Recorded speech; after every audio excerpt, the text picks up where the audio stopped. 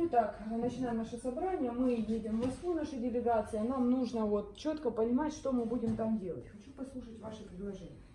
Нам надо сжечь американский флаг прямо у посольства То есть- американского. То есть вы считаете, что вот так вот прям лицом к американцам стать и сжечь? Только А, так. Они видели, что мы сжигаем Да. Но мы против. Всё. Ну, это понятно. Я вас поддерживаю, Клавдия Да. Да. И я пойду с вами Да, сжигать да, американский да, флаг. да, да. И мы Это мы И мы рядом будем.